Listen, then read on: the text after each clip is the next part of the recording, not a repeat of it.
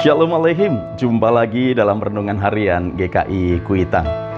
Saya memberikan judul untuk renungan kali ini, Dolus Eventualis, yang didasari dari surat Roma pasal 7 ayat 19.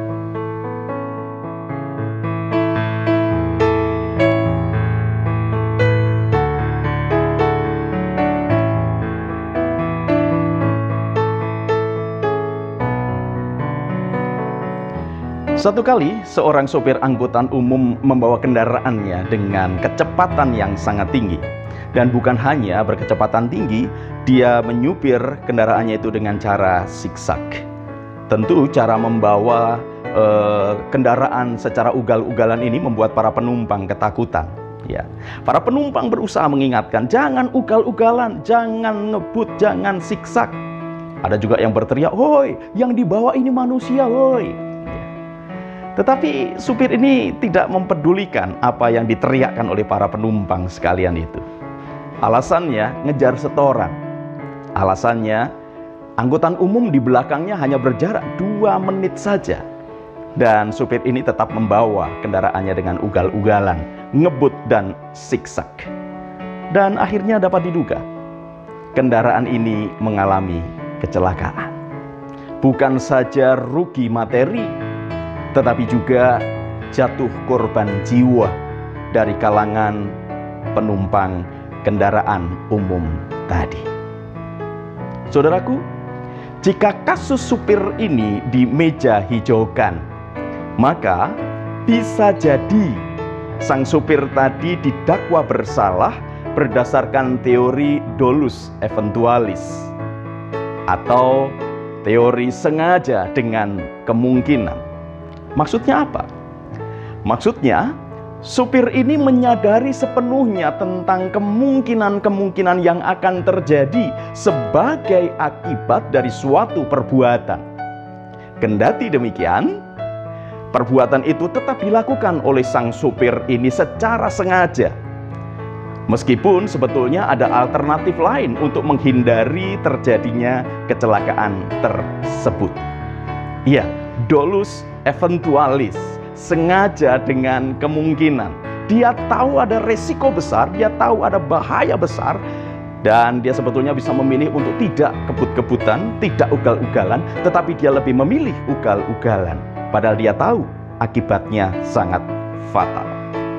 Saudaraku yang dikasih oleh Tuhan Yesus Kristus dalam kehidupan kita sehari-hari, mungkin kita juga melakukan tindakan-tindakan yang jika dilihat dari teori dolus eventualis ini bisa jadi tindakan kita itu masuk dalam kategori teori dolus eventualis ini.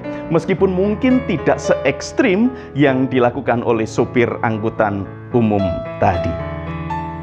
Maksudnya adalah bahwa kita tahu resiko dari tindakan itu adalah resiko yang negatif, resiko yang membahayakan. Kita tahu sebetulnya ada alternatif yang lain untuk tidak melakukan tindakan itu. Tetapi justru kita melakukan tindakan itu, memilih tindakan itu yang tentu akibatnya mungkin negatif. Eksesnya, dampaknya mungkin tidak baik. Nah, dalam uh, suratnya kepada jemaat di Roma, Paulus mengingatkan bahwa tindakan-tindakannya sebagai seorang manusia kadangkala juga cenderung e, bertentangan dari apa yang di hatinya. Ya. Di dalam Roma 7 ayat 19 tadi Paulus menyebutkan demikian. Sebab bukan apa yang aku kehendaki, yaitu yang baik yang aku perbuat, melainkan apa yang tidak aku kehendaki, yaitu yang jahat yang aku perbuat.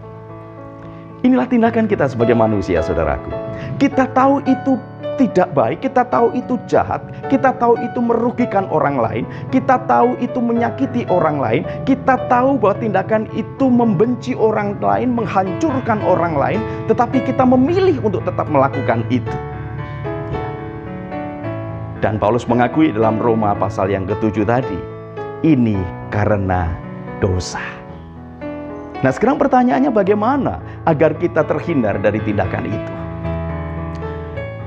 Saudaraku, Paulus mengingatkan bahwa kalau tindakan itu tetap dilakukan maka celakalah dia.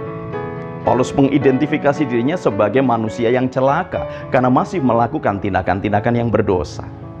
Dan siapa yang bisa menolong? Yang bisa menolong adalah Kristus Yesus sendiri yang hadir dalam rupa roh yang menyertai dan memimpin dirinya. Artinya, hidupnya bukan lagi dikuasai oleh dirinya, bukan egonya, tetapi hidupnya dipimpin oleh roh.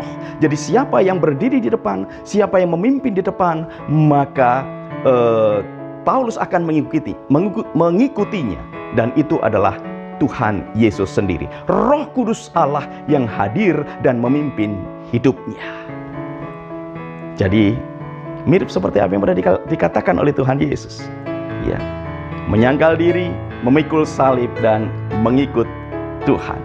Hidup kita harus dipimpin oleh Roh Kudus, sehingga kita dapat mengerti ada alternatif lain yang bisa kita lakukan, yaitu tindakan yang baik yang bisa menjadi berkat, sehingga kita tidak berbuat dalam kategori dolus eventualis.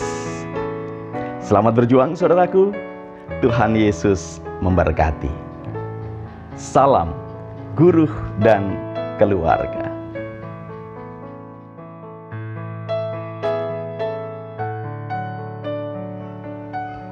Saudaraku, mari kita berdoa.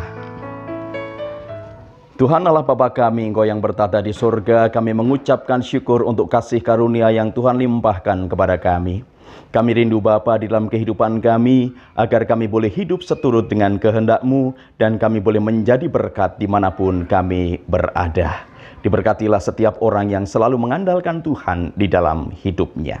Di dalam nama Tuhan Yesus Kristus, amin.